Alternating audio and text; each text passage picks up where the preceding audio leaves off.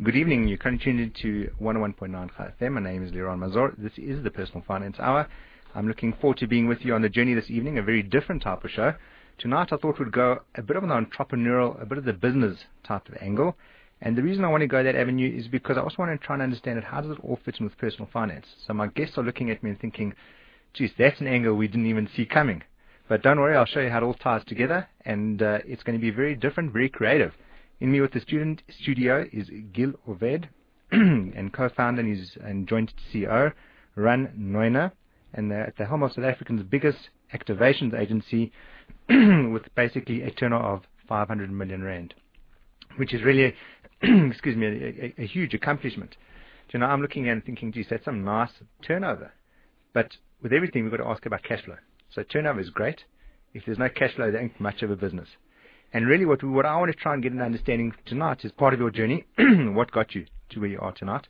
Part of the struggles, and also what is your secret to creating wealth? Because I think everyone's got to have some sort of secret or idea, and uh, that's quite exciting and always important to look at.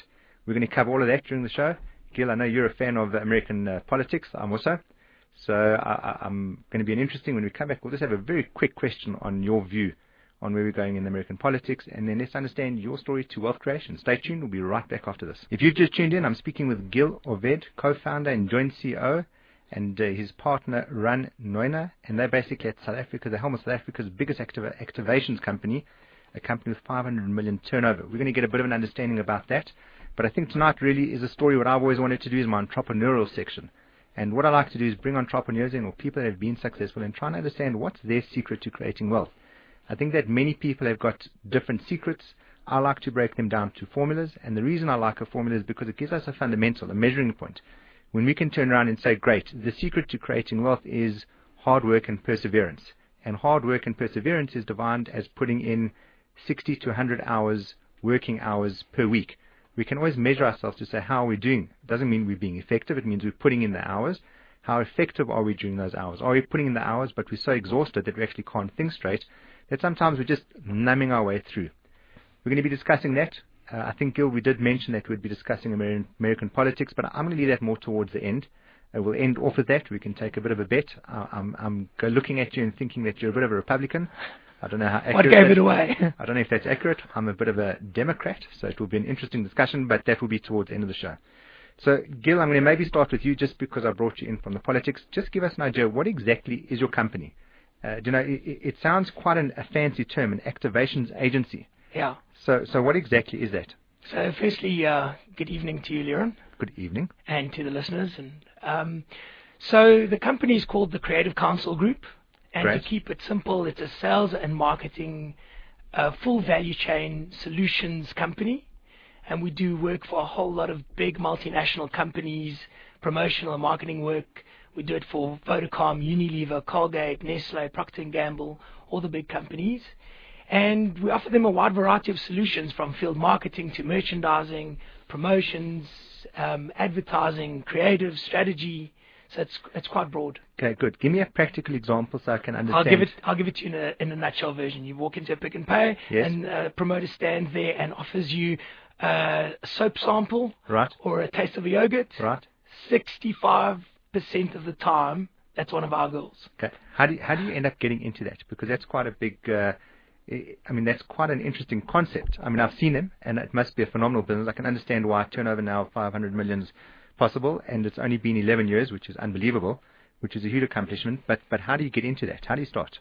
So I think I'll take this one. Um, about 11 years ago, 12 years ago, Gil and I had a business that went uh, literally went bang in the dot com bubble. Okay. And we were left with nothing. We were left with no confidence and with nothing to do. And I had a girlfriend who was doing promotions. Right. So I went to visit her in the store one day. Just uh, thought I'd go in, call in, and say how's it. And uh, when I arrived there, I saw that there were 65 of these girls, right. all of them which weren't doing a great job in terms of return on investment. Okay. And I'm an ex-banker. I like things in spreadsheets. I like right. to see return on investment. And I figured, well, let's give it give this business a bash. And the next thing we knew, we we started a promotions business. The, the irony though is that I think when we started when we started it, we kind of felt that we needed to make a little bit of money to pay for the petrol to get to the office to Right. decide what we're really going to do with our lives. Right. In our, And that was 11 years ago. in our best case scenario, this business was supposed to turn over 3 million rand a year. And we said if we get to 3 million, we're done, we're dusted, and we're going to move on to bigger, better things. Right. This is this is what I love, and this is where it's going to be quite interesting because people are thinking, "Geez, this is personal finance. What has this got to do with personal finance?" So you both got a qualification. I think, Kelly, if I'm not wrong, you've got the CFA. We both have CFAs. Great. So you've got both got CFA. So what is a CFA for the listener that's not familiar with it? It's really a qualification that you'd study if you want to become a fund manager. Well, yes, yes, it teaches you about risk and returns. Um, we both did our CFAs when the stock markets are running, and we thought that the future of uh, of making money was in stockbroking and merchant banking, and so you had to go and get yourself degreed for that. Right. I think it's it's if you want to run a business, uh, we I did a, a BCom in marketing actually as an undergrad, Right. and my passion was always in marketing actually, but I felt that if I wanted to run a business and be credible, I needed to be to be comfortable with finances, Okay. and the CFA kind of offered that, Why but it was quite niche. Yes, but why not just do a, do a, do an MBA? Because firstly, um, I'm not mad about MBAs in South Africa. Okay. I think the major purpose of an MBA is really to network with the right people. So you need to be doing that overseas. You need to be doing that full time. And CFA was a good solution. It was correspondence. It was inexpensive. Um, I could do it whilst starting the business, which is what we did. Uh, it's international. It's a skill. It's a specific skill. So it kind of answered a lot of those needs. I also think for an MBA, you need to get you need to have real experience before you go out and study an MBA. I see a lot of guys that are studying MBAs don't have the practical experience on the ground, and I wish that they could see what we've been through in the last ten years in terms of what you don't learn in the book and what you actually got to you got to live. In fact, we kind of always joke about, and no disrespect to MBAs because there's huge value there, but we often joke about it in the sense that there's charts and graphs, but no practical experience, which we think is way more important. If you've just tuned in, I'm speaking with Gil Oved and his uh, joint CEO, Ran N- Neu-Ner, and they're part of the Creative Counsel Group. Really, what they do is an activations agency. An example would be if you walk into Pick and Pay and you see some beautiful girl selling soap, and you think, geez, I have to buy the soap, not because she's beautiful, but because it's a great soap. That's really their business. They're turning over 500 million at the moment, I think it's great that you guys can share that. And what we've just been discussing is to try and get an understanding of the backgrounds. And both Gil and uh, have both studied a CFA, which is very much within my industry as the financial planning fund manager industry is a very well known qualification. And I suppose that's given you a great foundation because you really understand the art of wealth. So let me ask you this personal question. You don't have to answer it. You can be as detailed or undetailed as you want to. I will be as open for you for any questions that you want to throw back at me. In terms of personal wealth, how have you created your own personal wealth? we were actually hoping before the show that this question wouldn't come up because we spend so much time in the business that I think our personal wealth does take a bit of a backseat. Um, we ma- we're married to a business. We've Great. been working hard in the business, so Great. I, am glad you brought that up because I'm going to teach you one or two things, which maybe will be nice for you because of lessons that I learned. Gil, you comfortable with the answer that Ran gave? Yeah, worse than his. Okay, no problem. If you've got any questions and you want to be part of this conversation, we'd love to hear from you. The number to call me on is 0861 24 24 36. If you've got any questions for either either Ran or for Gil, please send us an SMS. The number is 34519. We will be discussing politics towards the end. It's just a, a nice thing, uh, especially that we are in elections. And, uh, you know, I love having everybody being part of the show. The questions aren't my questions alone. And uh, I definitely like to be engaging and understanding where everything comes from. So let me give you an important lesson because why I want to discuss it from a personal finance point of view is that there's many ways to creating wealth.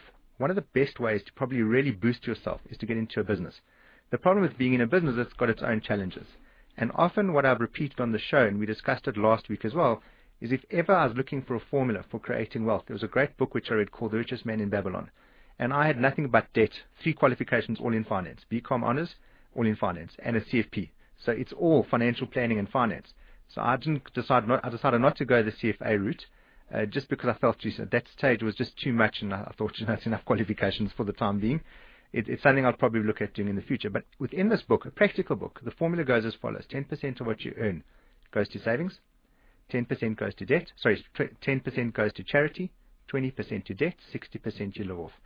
I'm going to keep repeating this over and over again because what's quite interesting is last week when, when I was on the show with the, the, the, the gentleman that created this through the Chev, it's a brilliant course that they do. It's an hour's course to teach people the practicalities of really w- w- what, what's behind creating wealth.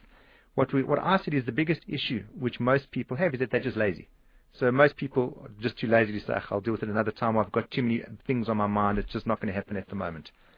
I'm going to be turning around and changing the word from a, a from Morris, which was uh, a friend of mine that gave it to me on Shabbat. Uh, bumped into me, started talking to me about it, and he said to me, "Geez, you know, why don't you rather make it about responsibility, which I think is a much better word?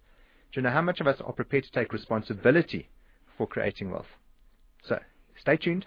We're going to come back to that, one or more two tips, and then we're going to understand what is it about passion that drives a business, and how important is turnover versus cash flow. Stay tuned. We'll be right back after this. The best talk, the best music, the best radio. FM Serving your community. with the best. Of the best. IFM 101.9 megahertz of power.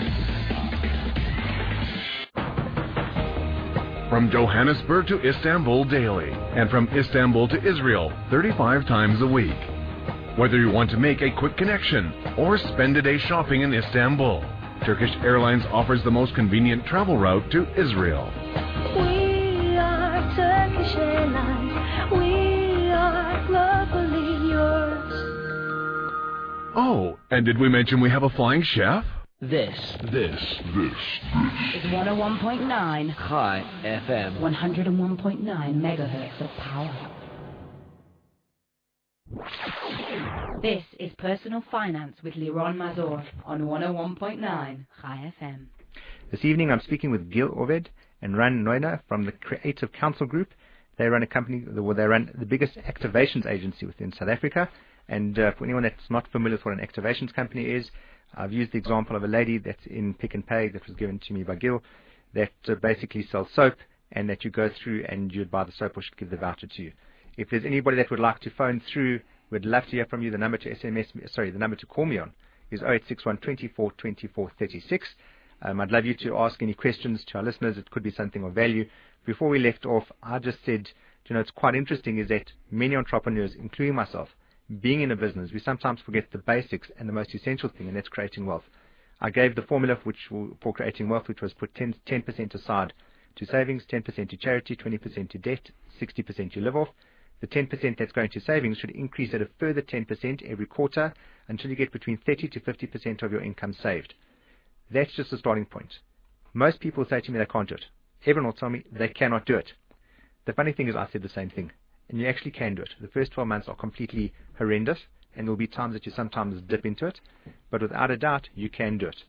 And what I find is so important about this is discipline. And I suppose that really brings us back to your business. We're going to come back to understand turnover versus cash flow just now. But maybe tell me what, what in your opinion, do you think is so important? Because one of the means of creating wealth is opening up your own business. What do you believe is the fundamentals? Gil, I'm going to give you a chance to give me your top three fundamentals. And then, uh, Ran, I'm going to give you your chance. And I want to hear, Gil, as part of it, passion.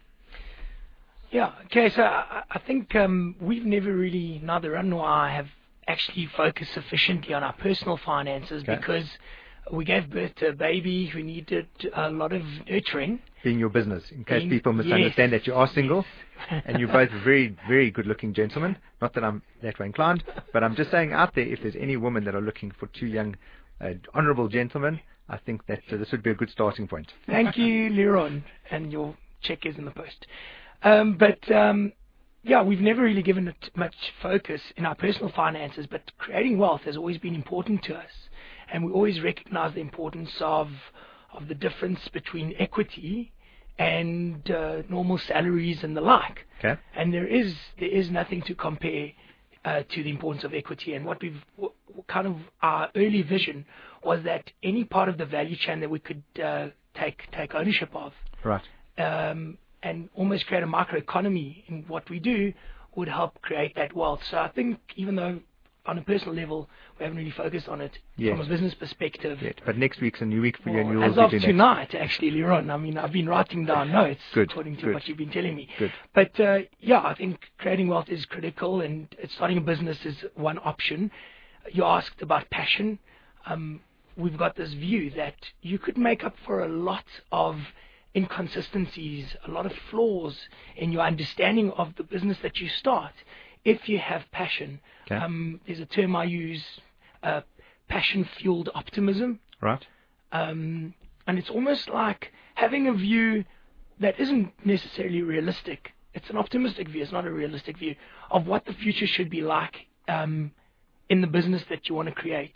And that passion allows other people, suppliers, uh, clients, to be attracted to it, even if they recognize that you may not have the skills. They know that you'll make up for it with passion, passion for their brands, passion for what they want to do with their lives. There's, I'm just trying to see that there was notes uh, in, that I was being given, which were very good, very very comprehensive notes. And one of the things that that really got me excited about it was how that you said to me it was important that you look after your clients or your, your, your I'm just trying to find the exact wording that uh, your, your your customers and the, the clients really felt that th- th- there was a very exciting offering and something that was different and unique.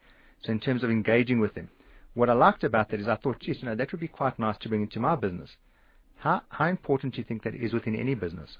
So I think I think it is. It's very very important. We t- if you if you look at our industry, our industry is quite com- or was quite commoditized, Right. and all we actually brought into the business was a new take on things, a new passion on things. I mean, Gil used his term. My, my, I I reckon that our business is actually powered by passion, and when you walk into our offices, you feel you feel like you're in a, you're in a boiler room. So yes, I think that passion comes from the leaders.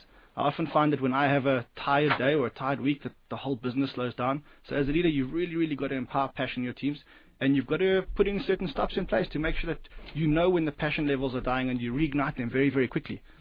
And clients pick that up, suppliers pick that up.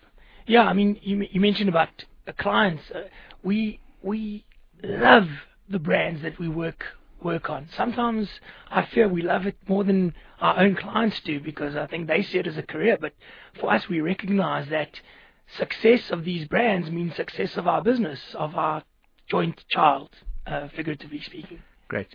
Ran, there's an interesting point that you brought up. Because we're talking about it from a personal finance point of view, it's important that the listener understands that these ideas within a business, I know that there's the Orchard Business Show, which also gives great fundamentals. I think that they apply to no matter where you are, what's going on in your life. So I always turn around and say, for a family, view your, com- view your family as your business. And there's a very simple question. Is your business, your personal business, because you've got two businesses. You've got your business that you're really married to, and then you've got your personal business, which you seem to be a bit divorced from. So, so is the rest of the world, so don't feel bad. The question is, as a family, are you making a profit or are you making a loss? It's a very simple question. Profit or loss? And if you're making a loss, great. Well, how do you now fix up your family business? That's your legacy. That's your real legacy. And the only way to do that is to follow fundamentals and to follow savings. But a very important point, Ryan, which you made just now, which is which, which I wrote down, is when you get tired, you feel the business gets tired, and it's quite amazing because I recognize that myself. And what's so important in terms of wealth creation is that you sometimes you need to actually realize that you need to take time off. If you don't take time off to re-energize yourself, you know everything else suffers along that. We spoke about working these hundred-hour weeks, which I sometimes figure out how the hell do these people do hundred hours? Like I'm pushing sixty, maybe seventy. How do they get get hundred in? And I can understand if they do, but I mean, after three or four months of running at that pace, I'm tired, and my business stops. It doesn't stop completely, but I actually feel that it slowed down. And, and, and what's quite important is within your personal capacity, you could sometimes find that in your in your family, that the family, because your family is your business, it's your business unit. Why it's so important for personal finance? Because it all boils down to the same thing, one simple word: cash flow. Do you have a positive or a negative cash flow? I also want to know your opinion. My number to SMS me on is 0861 24 24 36, or SM, sorry, the number to call me on was 0861 24 24 36, or send me an SMS to 34519. I want to hear from you. I want to know what your feelings and your thoughts are. Ran. So I think a lot of big words there. You talk about family, you talk about holidays or winding down or taking time off. So for the first probably five, six years of the business, the worst thing you could do was send us on holiday. Right. And the worst thing is that we were best friends, so we used to go on holiday together. So you can imagine how much holiday we used to have. Yes. Um, we found ourselves emailing three or four days into the holiday just to keep up the, the, Yes. the hamster wheel turning. Yes. And I think as time moved on, we, we, we delegated that to the management team. Not, Right. I mean, that's not to say that we don't send each other mails and BBMs at 2 a.m. and saying, let's get this done or let's get that done. Right. But as an entrepreneur, you're investing in your business. Right. Um, and you're investing it at, at, a, at a cost to your personal life. Right. I can't tell you how many girlfriends have, uh, have have told me off because I don't have time for them or because I wasted time on holidays when I shouldn't have been working. I was working, but that's the investment that we made, and now we're reaping the rewards. Right. Um, you talk about cash flow versus uh, Turnover. versus, versus turnover. We're a cash generative business. We don't have we don't we don't have a high asset base. We've invested all our investing is done. We've got our infrastructure around the country. So basically, we we have a margin. And that margin is pure cash flow that's fun, that's funded by the book. So from that point of view, we're quite a healthy business. Um, and I think we're lucky that we're not an asset-heavy heavy business. Can I throw another challenge out at you? Yeah. In terms of company reserves, what are your company reserves looking at? Yeah, well, I think, look, we, we have cash reserves. We have significant cash reserves. Great. We're looking at them because we're going to be, we are quite acquisitive. We're looking for very strategic investments. Great. Um, we haven't drawn very much from the business. We've Great. been like we've always tried to, like we said, keep it in the business. Great. We've got a long-term view of what we do Great. and how we want to do it. We want to grow. We feel very aggressive. We're ambitious. Um, some people would argue. Uh, you you mentioned, you know, 11 years, such a short space of time, 500 million, whatever it is, doesn't matter. The, the, the main point for us is the way we see our business is it's a seed that we've just planted, Right. and it's just showing the first shoots. Right. And you know, people walk into our offices and they see few hundred people walking. There's a lot of energy and dynamicism, and they they're impressed, and we're not at all. We're frustrated. Yes. We sit back and we're like, my goodness, it could have been so much bigger, so much better. We've made so many mistakes. We're very Yes. critical of each other, Yes. of ourselves. Yes. So, you know, in fact, I had a conversation uh, this morning with one of my friends, and he said, you know, we were talking about this year, and I said, it's a tough year, and the next year we want to do better. And he said, yeah, you know, your, your other shareholders must be putting pressure on you. And my response was, uh, they don't need to. they they couldn't possibly put more pressure on us than we have already on ourselves. Yes. I know the feeling because the worst boss is yourself. Yeah. I must stress that we have been quite prudent though in terms of our personal finances. Okay. We've uh, we've we know that you can't put all your eggs in one basket and you can't live. You've got to live a diversified lifestyle. So you can't have everything invested in the business. And we've been quite prudent in that we've established or we've taken. You know, you talk about a 10% savings or a 20% savings. We haven't drawn it uh, through a formula, but we have taken money out of the business in the past to make sure that we have enough to be diversified in case something can happen to a business. And we, we recognize that businesses, even successful ones that are diversified and look stable, uh, anything can happen. Enron went down. Anything can happen. Correct. We want to be we want to be secure and we want to be comfortable long term. Someone once told me that any business is three months away from liquidation. Correct. And at the time, I looked at this and I said, Are you crazy? Three months? And as you realize how big your expense base grows and how big your infrastructure base grows, you actually realize that, hang on, if something happens in three Yes. months, this could be a thing of the past. Yes. So we've, we've seen that, and we, again, we're both CFAs, so we understand risk return and we understand the idea of diversifying and taking stuff out of your, your cash cow or your business. Um, and you, I think, like I say, we've been quite prudent. Brilliant. We've also kind of always borne in mind that uh, I think a, a lot of young entrepreneurs who start young businesses, they initially make super profits uh, because of the entrepreneurial flair, and then as things normalize and profits normalize, margins normalize, what they don't realize is if you're working on, just for argument's sake, a 25% margin, just for argument's sake, uh, if your revenues drop by 25%, your profits don't drop by 25. Yes. They go to zero. A lot of a lot of young entrepreneurs don't realize it. It can happen so quickly. Yes. If you've just tuned in, I'm speaking with Gil Oved and Ran Neu-Ner, uh, the both joint CEOs, joint CEOs of the Creative Counsel Group. Really, what they do is they focus on activations agency. It's been a very good uh, conversation. I think very high paced. And really, what we're speaking about tonight is trying to understand from a personal perspective what is going on in terms of creating long-term wealth, and then at the same time, how to how what what really helps you in terms of understanding what drives your business. And why we're looking at it from a personal finance point of view is because I want to understand it from two angles. I want to understand if I'm looking at creating more wealth, one of the best ways for me to do that would be to opening a business. And then I also understand it from a personal perspective is what really drives you in terms of creating wealth for yourself, because that's really ultimately what you're doing this for. You're saying how I create more wealth. You've spoken, we just spoke about just now, it was a very interesting point to say where basically any business is three months away before liquidation. You said you've got reserves, which is brilliant. Uh, I know that the, it's a very high pace because you both have got so much to share, and there's a lot for us to still go through. So we're going to carry on with that, but before we do, we've got an SMS that's come through, and it's Running Gil. What fire drives your personal passion? we tend to look at each other. I don't know who wants to go. Go for it. No, it's all just. So um, it's actually interesting. It's a good question because it's changed over time. Right. Um, when we started, when we started the business, uh, we were in our mid twenties. We had a lot to prove to Okay. ourselves, to everyone else. Uh, we had just come out of a three-year business that had failed. Okay. Hit us hard. We we were wondering why we were punished so badly. Little did we know that it was the best learning one could ever have.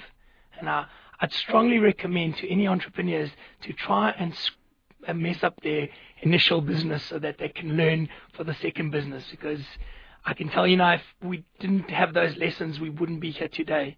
We would we learned on a small scale so that we don't make the mistakes on a big scale. But in our mid twenties, when we started the business, we had a lot to prove. We had no money, so one of the things was just ensuring that we could survive and and start the business. And it was all about ego. As you as the business gets uh, bigger and you start employing people and you realize that you've got responsibilities and you're accountable to their livelihoods and their families, it becomes more about legacy. It becomes about making a difference. Um, I'm, I always worry about saying these things because it sounds kind of cheesy, and some people may think it's not genuine, but it, it really is. You get to a point where you actually just want to make a difference in, in in what you do, and we're very lucky in that the industry that we're in, we we are we're quite sizable in it, and we're pioneers, and we feel a responsibility to change the way business is done.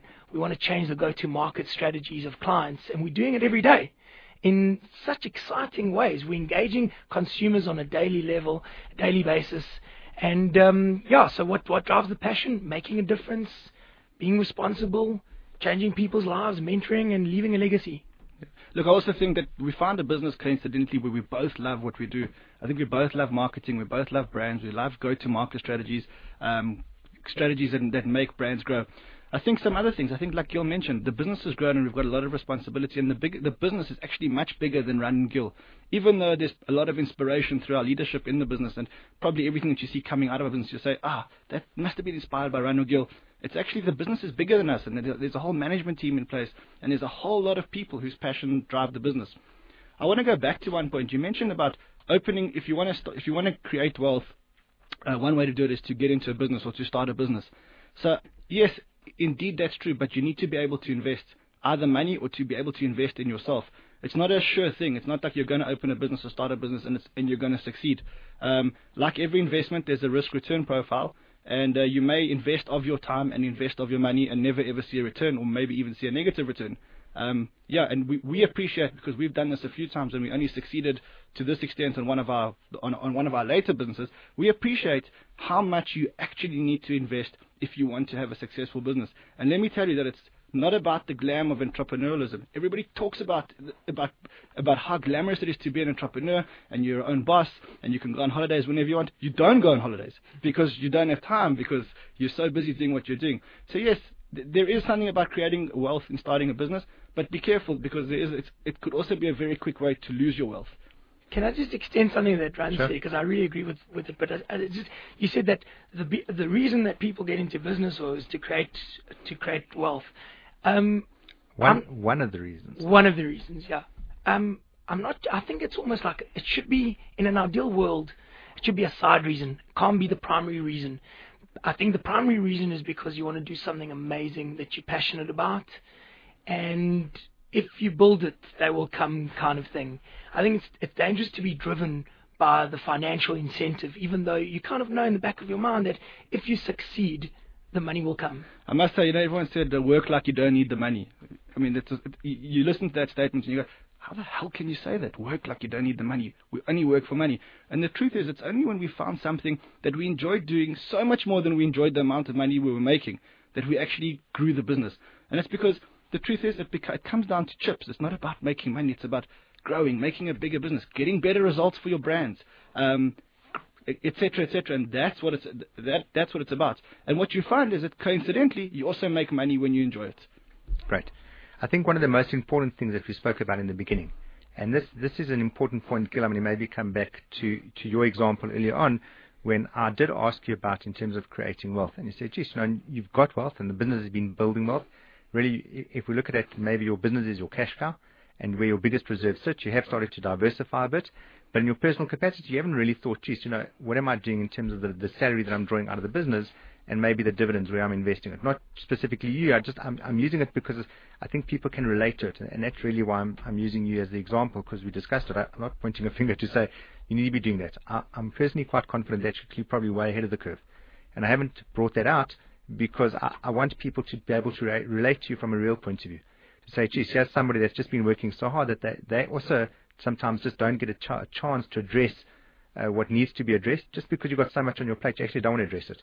Because you just think, geez, there's so much I've got. And I think that the point I'm trying to highlight is sometimes it's important to make mistakes. And that's really what the, what uh, from Ran, the point that you made is when you started your first couple of businesses. You know, probably part of your success has been leading up to the fact that you made so many mistakes. Without making mistakes, you're not going to be able to learn. And I'll, I'll give you a practical example. I took um, friends of mine for a hike this week. Uh, we went on Sunday, and uh, the one son was first time he's hiking, and he wanted to test out his equipment. And he said to me, "Geez, you know, can I walk with the boots in the water?" And I said, "You know, today's your tested day. How are you going to know whether you can or can't unless you make a mistake?" I said, "Go wild. I don't care if you do, because it's the only way that you're going to be able to understand if it does or doesn't work." And in society, sometimes they think, geez, let's not make mistakes. And it's common sense. I'm saying to you, the more mistakes you make, the closer you're going to get to making wealth. And I'll end off with this last point because I know you're also excited and you've got a lot to share. That really, to become an overnight success, some takes, sometimes takes 25 years. The problem is that you see the overnight success 25 years later after they've gone through all their mistakes. And they still make mistakes. But we'll hear about more about both your points. I, I know that you've got a, a lot of questions coming through. We do have quite a few SMSs coming through. Keep them coming. We will address them after the break. If you've got any questions for Gil or Ran, the number to SMS me on is 34519. If you'd like to call through and be part of the conversation, we'd also love to hear from you. The number to, call us on is 0861 24 24 36. We'll be right back after this. If you've just tuned in, I'm speaking with Gil Oved and Ran Neu-Ner from the, crea- the Creative Counsel Group. And really what they do is they focus on, act- they, they focus or they are an activation company. And what that means is you could walk into a store, you could see a lady or a gentleman doing a demonstration, there on food, soap, whatever it might be.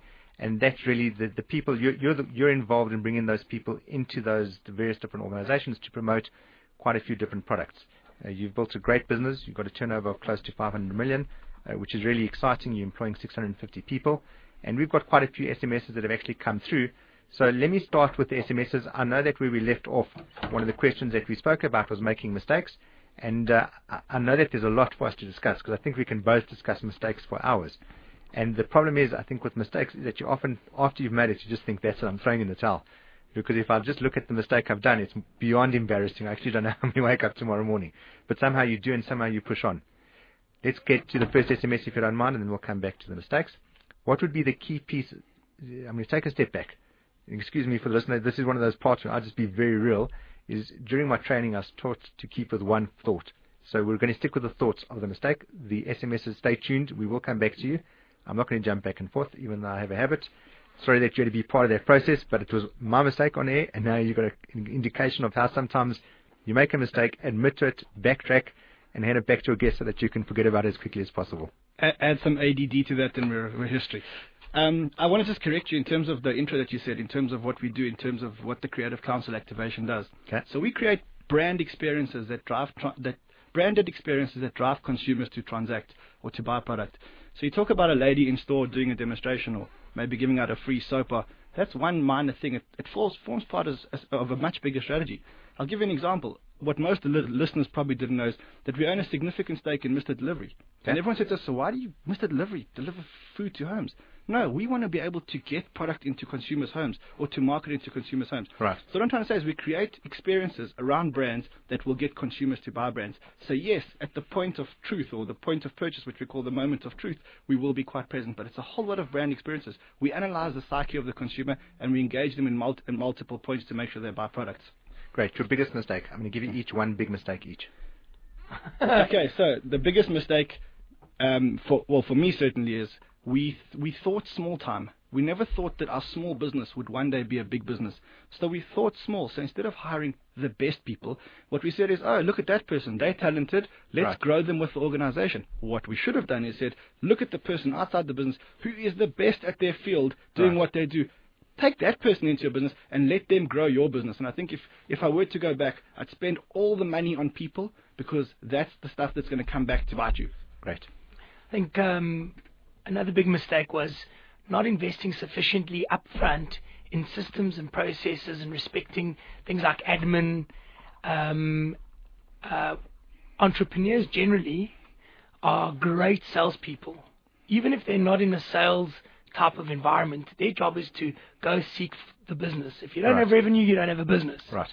So that's what they're good at generally. Uh, they're good at selling a dream. Um, very often they forget that coming with that, you need good finances, you need good admin, good systems, processes, documentation, all those things that are boring that entrepreneurs don't care about, don't want to hear about. But it stunted our growth and it affects us to this very day because of legacy issues. Yeah. We're still catching up because we've been lucky. Our sales have always exceeded it. But what I would do differently is invest in it upfront right at the beginning. I think you, it's easy to get caught up in your own sales pitch and to ride your waves and to ride your high. And we see many entrepreneurs, even some in our own business, where we've got in our own group with little businesses, where we watch the, the, the entrepreneurs flying and they think, wow, we're on top of the world, nothing can take us down. And then, boy, oh boy, that little cloud comes and they're so, so, so, so, so humbled overnight. And those are the things. Don't get caught up in your sales pitch. Make sure that you've got sufficient systems and sufficient infrastructure to back what it is that you're selling, selling yourself. Right. Quick, quick, quick, a quick SMS that's come through. What would be the key piece of advice you would give to someone wanting to make make it in activations and in the marketing field? Well, Ooh, I a competitor. If we if we told you, we'd have to. Well, um, firstly, I think there's there's a lot of room for good competition. Okay. In so, so I often say to my clients, and they're quite shocked when I when I when I admit this, and I can't believe I'm actually going to admit it on radio, but um, I think we're good. We could be brilliant. We're aiming for it, but we're not there yet. But the problem is that the competition is terrible. Right. So we are our biggest competitor in the market, and we see what where we should be, where we could be. We're not there yet, but the competitors are weak. The good thing is, in this space, a lot of money is flowing away from the traditional media to this, which is considered non-traditional media. Right. So that's where the focus is, that's where the money is. Uh, brands are looking for real experiences. So guys are going to come in and do it properly. Uh, if they're going to focus on return on investment, on measurability, Right. um, and on being quite systems driven, they could create amazing experiences that are creative. And I think they could capture a nice share of the market and hopefully take out those little com- competitors that really destroy value in our industry. You know, we always start one of the reasons for our success. Gil and I have been friends since we were at school, and we've been friends, but we've always competed. I mean, we competed in everything that we did at sports, uh, in matric. Where I know Gil's going to mention that he beat me by one percent, or I know I know he's going to go down that road. It But wasn't. It was a point. It's a- But what? But we've But you been still beat him. That's the most important thing. I'm with you, Gil. yeah. Ma- So we've been best friends, but we've been worst, fiercest competitors Right. since the time we were kids. So what what happened was we created this cul- this culture in our business where my biggest competitor was sitting in a glass office next door to me, and I constantly had to think how it is that I'm going to beat him, and how it is that I'm going to turn over more than him. So what we actually created was two businesses Yes. that were setting their own standard by competing with themselves. And by the time we look back, our biggest competitor, which was this huge threat earlier in the game, had fallen so far behind. Sure. And that's one of, Amazing. one of the reasons, one of the biggest reasons for our success. So you ask, what is it that, that if someone wants to penetrate this game, come in and try and up the game. Try and beat us. We encourage you to try and beat us because we've realized that every time we've had a competitor that's tried to beat us, we've become way, way, way better. But there's a big need for the industry to mature Right. and to professionalize. Um, we, we can't do it alone. So if guys want to enter the market, we'd be only too happy. Do you ever regret the sacrifices you've made or you've had to make while building your success? Wow, that's a deep question. Um, Is, Gil, yes, is Gil's mother listening?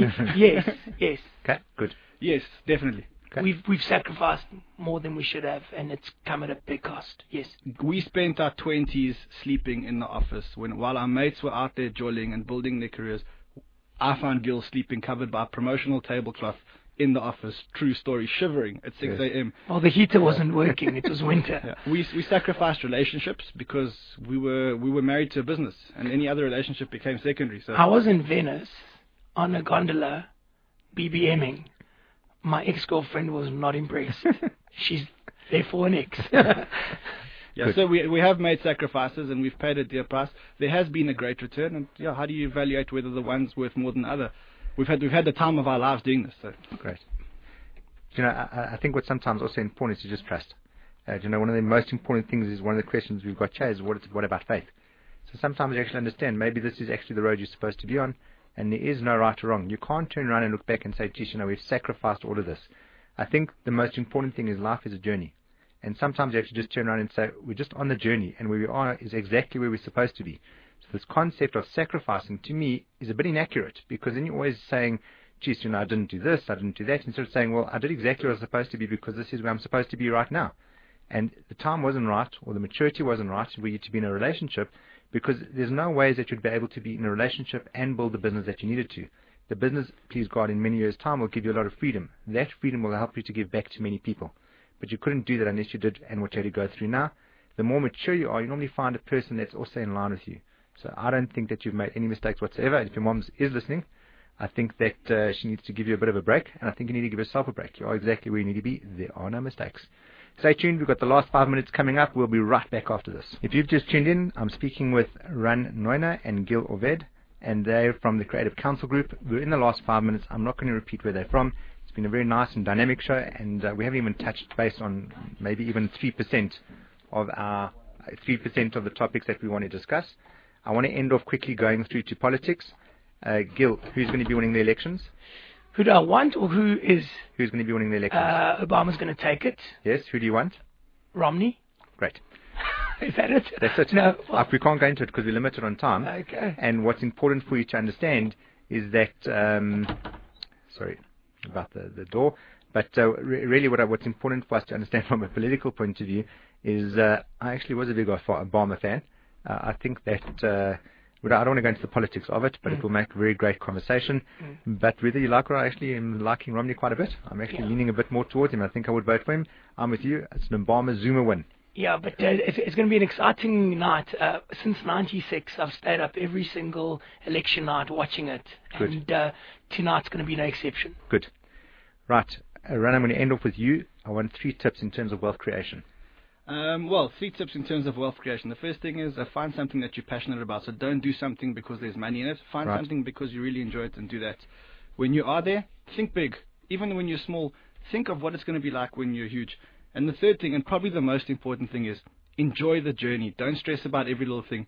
I think we made the mistake that we stressed too much, and we should have just enjoyed the journey and enjoyed the ride, because the ride is part of the fun. Looking back at it, I probably should have smiled more, should have taken things less seriously, and uh, yeah, I think that's those are the three tips that I'd give anyone who's who's uh, wanting to embark uh, as an entrepreneur to build some personal wealth.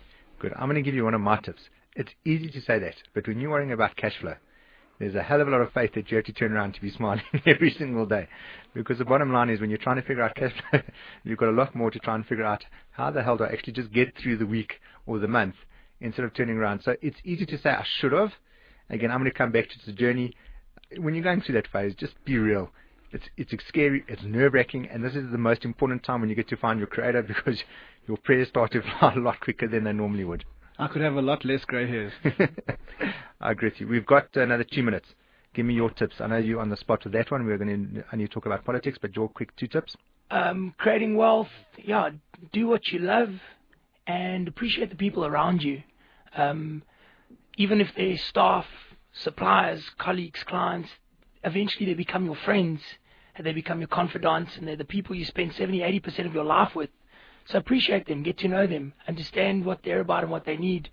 Um, it will lead to a more successful, enjoyable environment, and ultimately a better, more successful business, and therefore you'll create wealth that way. I think one of the most important lessons for me uh, as part of that topic and uh, is learning how important people really are. You don't really understand that people, especially if you don't have many assets, are, are really the driving force of your of your business. From so many, they're the face of your business. They the way they interact with the clients, the excitement comes through. And I think to me the most important lesson I learned is that, like you, the hardest critic in my life is probably myself. And there's no mercy. It's quite vicious and it's constant. The problem is that I could sometimes bring that forward to my employees and be as critical with them as I am with myself. And what I've learned is how important it is to make people just feel good about themselves because the better they feel about themselves, the more excited they are and the more they actually want to give. So I can turn around and call, look at a person and say, Jesus, you know, like this is pathetic, you're useless, you're this, etc., which is quite vicious. And, and it, I've openly seen that mistake, which is great. And now more, my job is more to try and focus on motivating. Yeah, we've got this philosophy of five times carrot, one time stick. You, know, you talk about carrots and sticks. For every one stick, there's got to be five carrots that you hand out. Great. It's a great point to end off with. Ran, you got one. I minute. think our staff may say it's probably five sticks to one carrot, but it depends on how you like it. I love that view. Great Yeah. point way to end off. For you, the listener, thank you for being part of the journey with me this evening. And with my two guests, I'd like to thank Ran Neu-Ner and Gil Oved. You guys are doing great work. What I'm going to be looking forward to really within your careers is that you're both very generous men. And I'm looking forward to seeing the way you give back because it's going to make a huge impact on this community. And uh, I really, again, for any women that are out there that are single, unbelievable men. I don't know what uh, why you are single, and uh, hopefully that uh, we'll be able to find you a nice, uh, good, uh, great, exciting shidduch. For you, the listener, thank you again for being part of the journey. Be with you next week. Hang tight, five more weeks to the end of the year. It's going to be an exciting year next year. We'll be right back after this.